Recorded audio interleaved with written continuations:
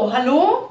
Wir haben heute ähm, die liebe Holly hier und ich würde gerne mal demonstrieren, äh, wie wir Blut beim Hund nehmen.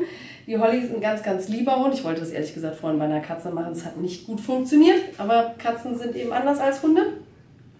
Wenn wir Blut beim Hund nehmen, haben wir eigentlich zwei Möglichkeiten. Einmal hier vorne am Vorderbein, da stellt sich dann immer schöne ähm, die Vene da. Das wird man, da sie ein schwarzes Fell hat, nicht gut sehen können. Hier können wir Blut nehmen. Ich mache das immer sehr, sehr gerne ich mache es immer gerne hinten. Das ist die Vena Safena.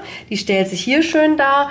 Und ich habe äh, meine liebe Frau Leven hier, die mir hilft. Jetzt ähm, scheren wir hier ein bisschen und bei der Holly sind die Venen wirklich sehr schön zu sehen, zumindest diese eine hier.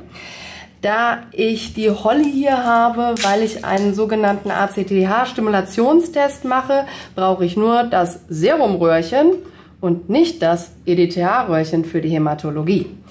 So, Alkohol haben wir eben schon drauf gemacht und jetzt nehme ich mir die Kanüle und Achtung, jetzt wird es gleich ein bisschen pieksen steche hier ein und bin schon drin und es läuft.